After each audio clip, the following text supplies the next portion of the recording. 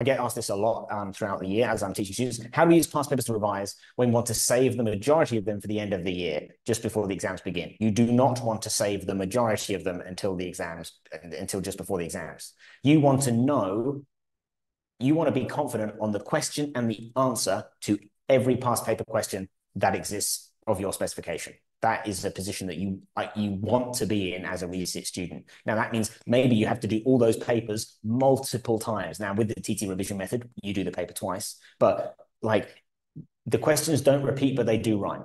If you can recognize every question in the past paper record and know how and what the answer is and why to all those past paper questions, pretty much guaranteed an A, if not an A star, because there is a couple of questions on each paper which are going to be novel, new, never seen them before. Sure, students don't do well on very on those very well. For everything else, you're basically going to have a template answer in your head ready to go for every single question on that paper, apart from maybe two.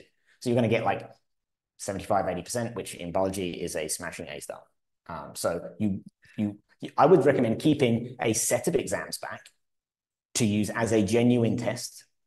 So there's two ways of using papers. One is as a learning tool. That's how we're going to use the majority of papers at Tailored Tutors. And you want to be doing them as soon as possible and crushing as there are for A levels, two AS papers every year, three A level papers every year. That's five papers every year.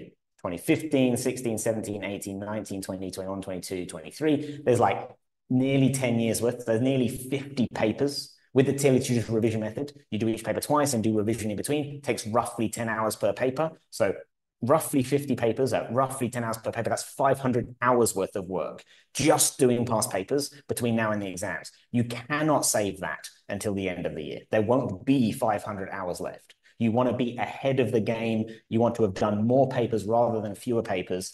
And then we can look at if you get, if you need to other papers. I have other papers which I can share with you in some minor academy. I have like redacted papers from other exam boards. We have we have past old spec questions. There's all sorts. You're not going to running saving papers back is a bad idea. You want to be ahead of the game.